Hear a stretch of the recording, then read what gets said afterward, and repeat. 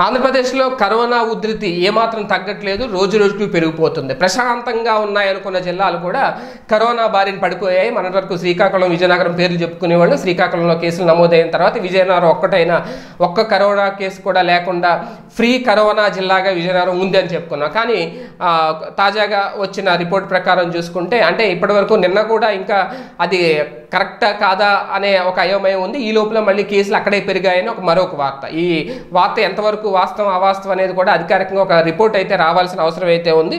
ప్రస్తుతం కనుక చూసుకుంటే ప్రతిరోజు యావరేజ్గా ఆంధ్రప్రదేశ్లో ఒక అరవై పాజిటివ్ కేసులు అయితే నమోదవుతున్నాయి. తాజాగా గత ఇరవై నాలుగు గంటలు అంటే ఈ వీడియో నేను చెప్పేసరికి ఇరవై నాలుగు గంటల్లో ఎనిమిది వేల ఎనభై ఏడు శాంపిల్లను పరీక్షిస్తే అందులో యాభై ఆరు మందికి కరోనా పాజిటివ్ నిర్ధారైంది. రాష్ట్రంలో నమోదైన మొత్తం కరోనా కేసుల సంఖ్య పద్దెనిమిది వేలు దాటేసి పద్దెనిమిది వేల నలభైకి చేరుకున్నాయి అనేది ఇప్పటి వరకు అంతున్న లెక్క.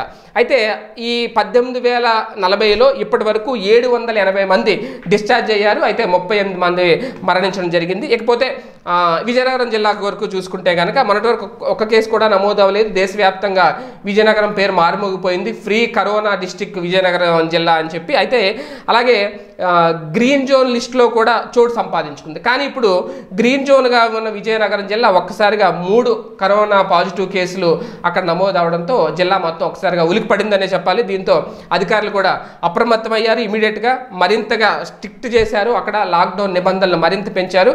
అయితే అక్కడ ఆల్రెడీ ఒక వీడియో చెప్పాను నేను ఎలా వచ్చింది ఏంటి అనేది. అయితే అక్కడ విజయనగరం జిల్లాలో ఒక అరవై సంవత్సరాల వృద్ధురాలతో పాటు మరో ఇద్దరు మహిళలకు కూడా కరోనా పాజిటివ్ సోకింది అని చెప్పి తెలుస్తోంది. ఎందుకంటే బాధితుల్లో ఇద్దరు వలస కూలీలు కూడా ఉన్నారంట.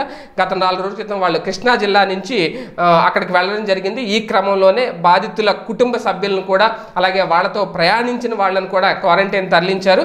మొత్తం ఇప్పుడు దీనికోసం ప్రత్యేకంగా విజయనగరం జిల్లా కోసం యాభై బృందా బృందాలను ఏర్పాటు చేసి మొత్తం జల్లెడ పడుతున్నారు. అందరికీ కూడా టెస్టులు చేస్తున్నారు. ఎవరికైతే అనుమానం ఉందో ఎవరికైతే కరోనా లక్షణాలు ఉన్నాయో వాళ్ళందరికీ కూడా టెస్టులు చేస్తున్నారు. ఒకవేళ ఈ టెస్టులో మరిన్ని పాజిటివ్ కేసులు నమోదవుతాయా అనే ఆందోళన కూడా చెందుతున్నారు. ఏదేమైనా విజయనగరం జిల్లా కూడా ఇప్పుడు అప్రమత్తంగా ఉండాల్సిన పరిస్థితి అయితే ఏర్పడిందని చెప్పాలి.